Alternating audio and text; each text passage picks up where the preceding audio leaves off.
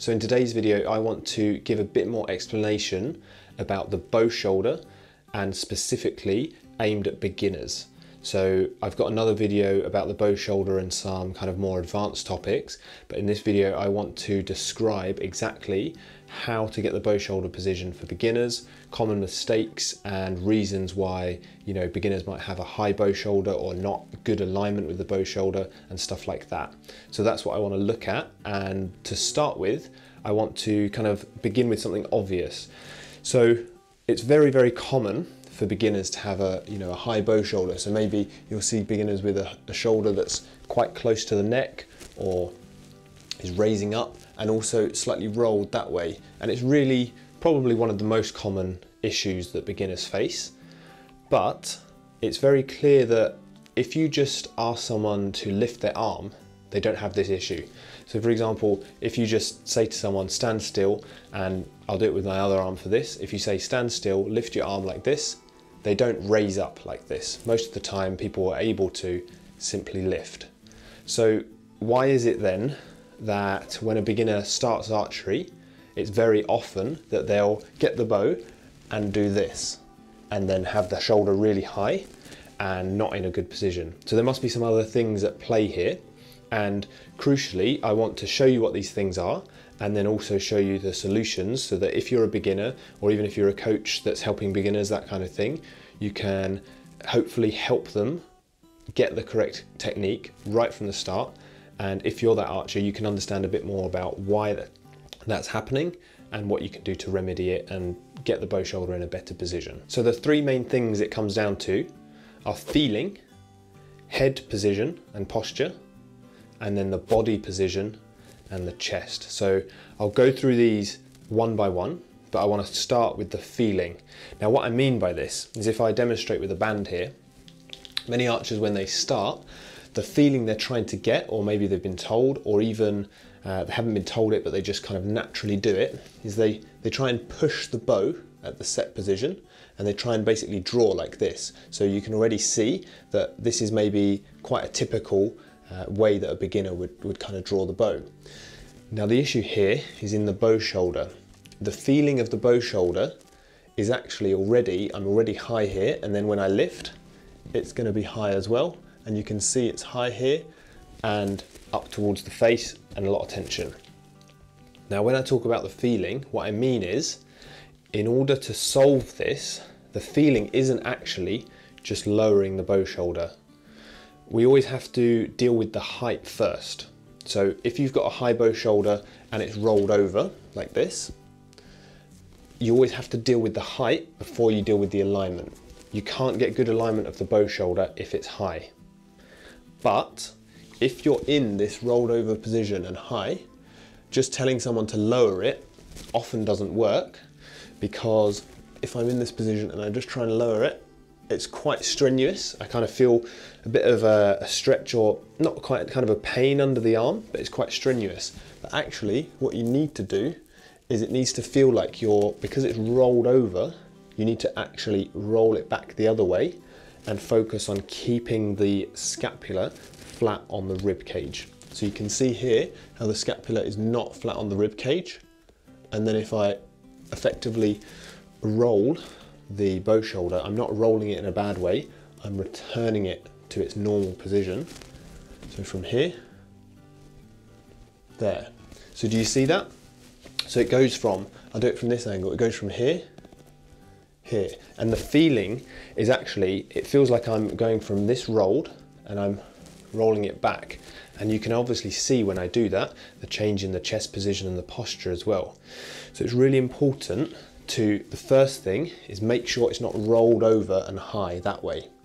And the feeling in order to get it is it feels like the scapula is going from here and it feels like it's then lowering and reverting back so that it's flat on the rib cage.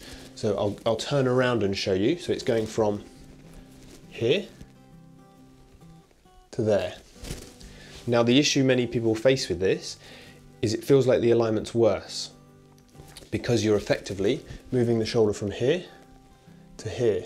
So you're actually moving the shoulder further from the line that you might be trying to achieve, but that's fine because we need to get the shoulder in the correct height, not have it rolled over, and then you can get the good alignment by rotating around the chest, getting the body alignment and getting that good.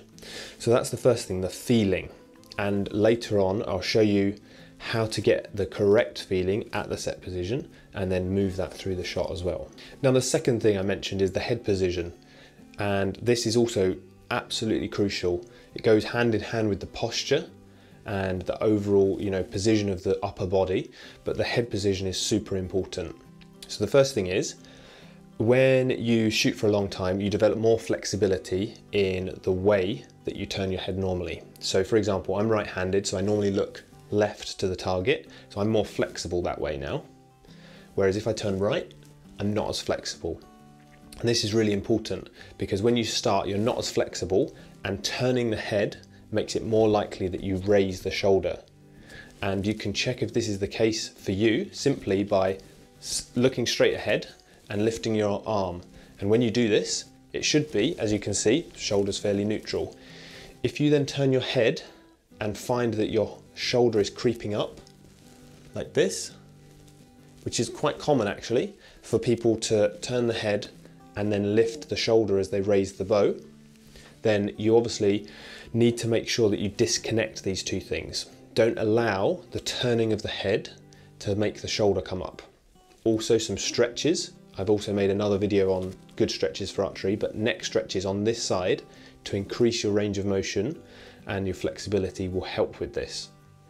So another thing with the head is to make sure that you're in a good straight position. So if you're if the target is the camera here, I'm looking into the into the target and at this position already before I lift the bow, I allow the head to come forwards, it's going to make this extremely hard to get in the right position. Because when I come up, I'm going to be high already. Can you see how that's high? So you need to make sure right from the get-go that your stance is good, your posture is good, and crucially, you're not hunched over like this, and your neck is not tense, and your head is not forwards like this. So the feeling you might be going for is looking at the target with your head, it might feel slightly high to begin with, but your, your chin might be a little bit higher than you expect. So many people when they start, they will maybe start here and then when they draw up, can you see how the bow shoulder is high already because of the face? Whereas then if I lift up the head, it makes it a lot easier to get the bow shoulder position. I should note that some of the reasons for this are the constraints of the bow. And what I mean by that is people will try and maybe bring the string to the face and they're not sure where to go. And what that does is that they move their head around. And then, especially if you've been taught to start with, if you've been taught to have, you know, like a, a side anchor rather than under the chin. So if you've been taught like this to start with, more like a, a bare bow or a hunting thing, it's very easy to compromise the position of the head. So you need to make sure that's good and then maintain it through the shot. And I'll show you a bit more about that at the end of the, the section with the solutions. Now finally, the last point is the body position and the chest. And what I mean by this is even if you get so the kind of stages are if you're able to lift your hand and your arm without the shoulder moving up, great. If you can do it with your head turned, great. Then when you add the complexity of the bow and the draw side, when you add that, it makes it more difficult because people will often revert back to trying to pull the string and then compromising the shoulder and coming up. So the trick here is to make sure that you don't allow the bow to compromise this shoulder. You always prioritize posture, head position, and the shoulder position first. Then you do what you can with the bow and make sure that you're not allowing the bow to change your technique. This is hard to feel if you're a beginner, so to make sure of this, you can do it without the bow at first. So this is why you know it's great to start with a band, but you can make sure, okay, your posture's here, make sure your set position's good, and then when you lift up, you can make sure that you're maintaining the shoulder position and not raising it. Specifically, a couple of things here, having the string and putting too much tension on the string at the set position, so here. So a lot of people when they start, they'll kind of draw the bow a lot and then lift up. that is going to make the bow shoulder higher. Also, having the hand, so the draw hand, having it too close here to the bow side is going to make the bow shoulder come up. Trying to align the shoulders too early, yep. So this is, you don't want to, at this position when you're getting ready, you don't want to try and get the shoulder alignment and then come up because this is going to be higher. You actually do want to be slightly open to the target and make sure the shoulders are in a good position, like here.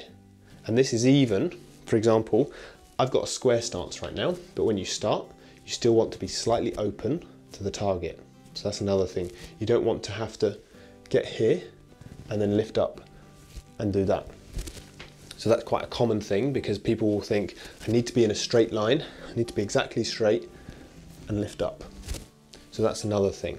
So solutions for this. So if you're a beginner, these are the key points here. The solutions are, you need to make sure that you're in a good overall posture and your head position is good. That's number one. So what I mean by good overall posture, no hunching, no compromising of the head position, no movement during the draw and any point during the shot. So when you're standing, you're ready to address the target. So here I've got a square stance, nice and simple, and the target is this way. So when I'm here, I make sure I can start upright, shoulders in neutral position, not hunched, and then simply turn to the target. That's it. Simple. And then from that moment, then everything stays the same in terms of the head position, body position, all there. So turn to the target, and then now the crucial thing is as we move into the set position. But now the head is done, shouldn't be any movement, no forward, no uh, movement of the head, and then also crucially not allowing the turning of the head to lift the shoulder. So making sure you're relaxed in there. So that's the first thing. The second thing is at the set position. So when you're here with the bow, you want to make sure that the shoulder is relaxed and it will feel slightly like you're using the muscles of the lower back under the arm to effectively keep the scapula on the rib cage and it will feel like you're actually keeping the scapula close to the spine. I should clarify, this isn't the long-term feeling that will actually happen and for advanced archers you don't want to retract the scapula to the spine. But as a starting point to make sure you don't lift the shoulder, this is what it feels like to beginners. Okay, so when you're here at the set position, rather than being in this position and the shoulder is already high, you want to make sure that when you're set, you don't put too much tension on the string. And then you also, here, you just change the position slightly. So you go from that to that. And then now it feels like the scapula is just being retracted slightly back towards the spine, using the muscles to stabilize it there. Like I said, not the long-term thing, but this is the feeling we go for to make sure you don't lift the bow shoulder. Now finally, when you're at the set position and when you're drawing the bow, don't try and create a straight line too much in terms of when you're here doing the set, most people will try and push the bow hand into the grip and draw the string, put too much tension on the string, and then they're trying to get the shoulder alignment like this. But, like I said before, keeping the bow shoulder low is really important. It might feel like effectively you're, before you might start here and lift the bow, so you can see how the shoulder is in more of a, a straight line, but you want to go from here to there. And did you see how the shoulder opened there? So it's okay, it will feel, for beginners, it will feel kind of odd because it feels like your body is here and the bow is in front of you. Does that make sense? So instead of that, it's more that. And it feels like this shoulder is slightly back and you're keeping it low and then the bow is slightly in front of you and you can see how this is much straighter now, this arm. And then when you lift, you can then get the alignment through the chest and the body movement and I'll talk about that in a separate video. But to start with, don't be afraid to open up slightly, going from here to there and allowing the bow to not be so close to you and getting the shoulders a bit more open to the target because that's going to really help keep the bow shoulder low. So that's been a pretty comprehensive look at the bow shoulder and I wanted to do that so that some beginners who might be wondering how to get the bow shoulder have got a bit more guidance and hopefully it helped anyone who's more of an advanced archer as well and it can help you sort out some issues that you might have with the bow shoulder. As always, if you enjoyed the video, be sure to smash that like button and subscribe to the channel if you haven't already. I'll also put the links to social media down below. And thank you for watching and I'll see you next time.